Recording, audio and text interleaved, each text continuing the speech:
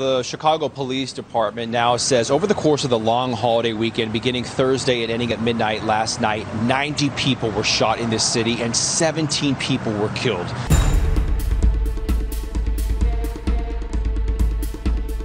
Seven year old Natalia Wallace was playing with her cousins in the front yard of her Chicago area home. In Hoover, Alabama, Royta DeMarco Giles Jr. had just finished second grade and was walking in the mall. Eight year old Secoriea Turner was out on a drive with her mother in Atlanta. These young faces are among the at least six children shot and killed in what was a violent 4th of July holiday weekend. I found my baby laying here. I'll never be the same again. Crossfire hit the little girl standing outside her grandmother's house. To see my daughter on the table with a gunshot wound to the forehead, it hurts me that my youngest daughter is no longer here. That is that I would not be able to talk to her, hold her, tell her anything, her uh, bedtime stories, anything. What is happening right now?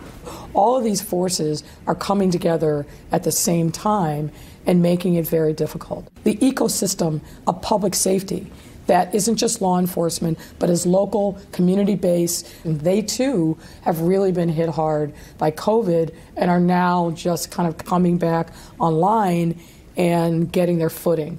The top cop in Chicago calling the shootings tragedies. We cannot allow this to be normalized in this city. We cannot get used to hearing about children being gunned down in Chicago every weekend. In a news conference this morning, Chicago PD hitting on bail reform over and over again. These babies are being killed every weekend.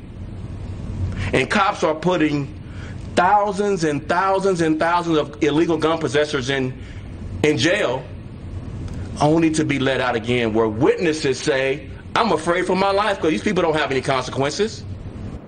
Unfortunately, what I think we're seeing is a manifestation of literally decades of neglect in certain neighborhoods where literally um, young boys turn into men on the streets and feeling like their only career path is going to the corners instead of college or career. There's an ongoing tragedy of black on black crime, especially in poor neighborhoods in this country, accelerated by easy access to guns.